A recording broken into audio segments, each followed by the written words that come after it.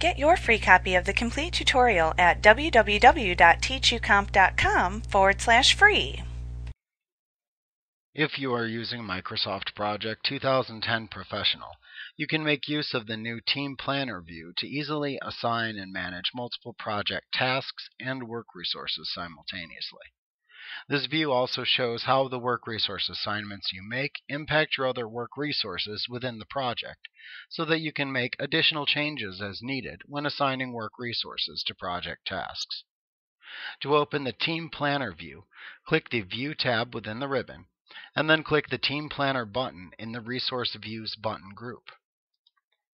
Within the Team Planner view, you will see your work resources, or your team, shown in a list at the left side of the topmost pane. Each work resource is shown within its own row.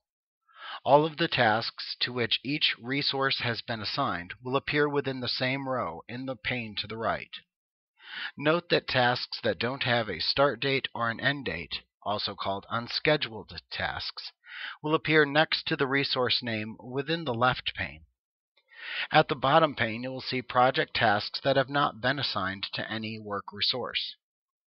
As you assign and manage project tasks using this view, you will notice that the colors of the tasks give indicators about the status of the tasks. Tasks that have actual work completed on them show the actual work amount in a dark blue color. Uncompleted work is shown in a light blue color. Once a task is 100% complete, it cannot be moved using the team planner.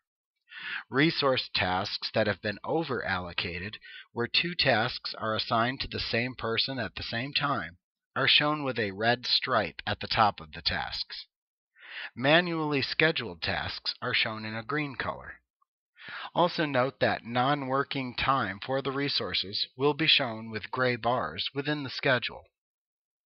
In this view, you can simply click and drag the tasks to the various rows within the panes to assign tasks to work resources, schedule tasks, and prevent over allocations. You can click a task vertically to assign the task to a new resource row, or to assign and or schedule an unassigned task. Note that when you are dragging unassigned tasks into the top pane from the bottom pane, that if you drop the task into the right pane for a resource row, it will be assigned to the resource in the resource well, as well as being scheduled for the time slot you select.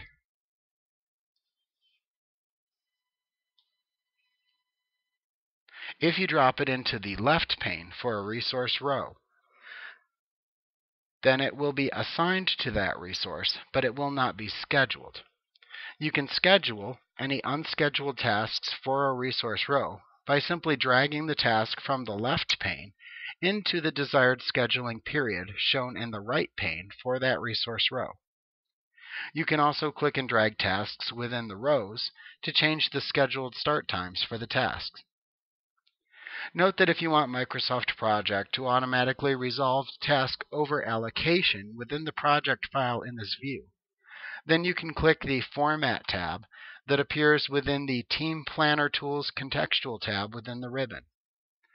Then click the Prevent Over Allocations button in the Schedule button group. This is a toggle button, so you can also click it again to turn this feature off if desired.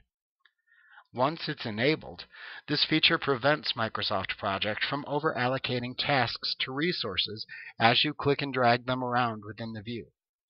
Also, if there are any existing resource over allocations in the project file when you click this button to turn it on, Microsoft Project will automatically resolve the resource over allocations by moving the scheduling of the tasks for the over allocated resource.